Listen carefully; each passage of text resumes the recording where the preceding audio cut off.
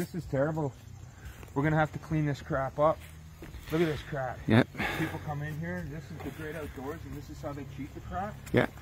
I'm about to swear, so if I do, man, we can bleep this shit, right? Nope. Oh, man.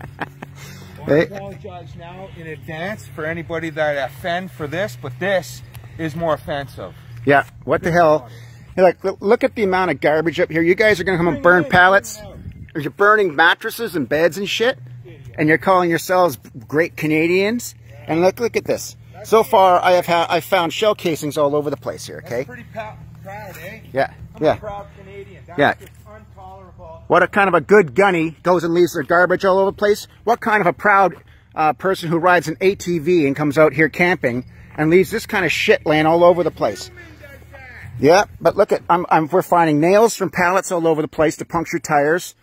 I mean, what the hell's with this shit? Look at it. it's like a metal pit here. Like, come on, people, pick pick. If you can come in, you can take it out with you. There's no reason for leaving it to people like us are gonna have to come in and clean up. Look, 762 by 39 casings sitting here. I mean, uh, we got some 22 casings. We got some 9 millimeter casings. It's great to have Look at this. Look at this. Look at the casings here. Donny boy. 762 by 39. Whoever's buying this stuff can buy this ammunition by the crate. Come on. To have targets Yeah. to shoot at, but why does that have to be Yeah, here? you You, brought it in, take it out. Yeah, I, I shoot these things too. Take them out of here. They're great. What's with your boxes? You can't burn that, or at least take them out in your Timmy's cups, you bunch of lazy slobs. So anyway, Canadian Firearms Network. It's pissed off. Yes, we're pissed off. So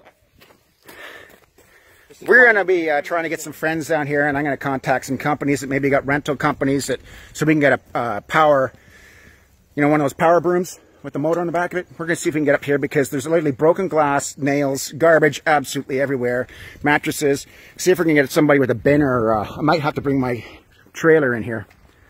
But I this, don't this, even want to know the story how that got there. yeah. Why is somebody losing their pants here? Carrot. bunch of slobs. So the thing is, like, clean up your shit, people. If you're going to go target practice, shoot.